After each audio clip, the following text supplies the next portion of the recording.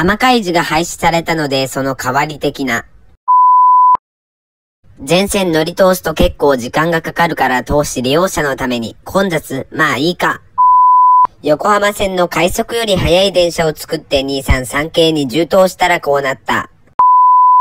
クロスシート導入と同時に中央線への直通も再開し、東神奈川発小淵沢駅が新たに設定された。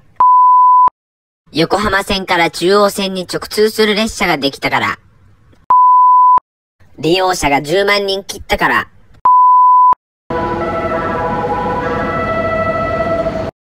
大宮方4両、駒川直通、新木場方6両、羽田空港経由桜木町行きになって、川越、東京テレポート間並結運転。大宮駅で切り離します。中央線からのダイソー。台車破損。グリーン車の導入をするから。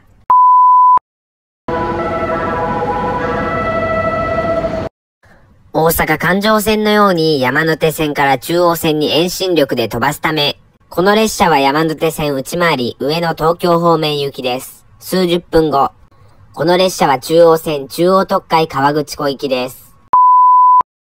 JR 東海が試しに作ったが、やっぱいらんとなってカラーが似ている中央線に譲渡したから。速報 E235 系が全国的に導入しました。山手線がオレンジ色に変装した姿。まあこの写真が撮影された1分後に変装がバレてしまいますが、山手線に直通するため、グリーン車、ホームドア、まあいいか。これが後々本当に家電で電子レンジとして発売されるってマジ？たくさんのコメントありがとうございました。次回は E235 系ベースで製造されそうな車両を考察していきます。最後までご視聴ありがとうございました。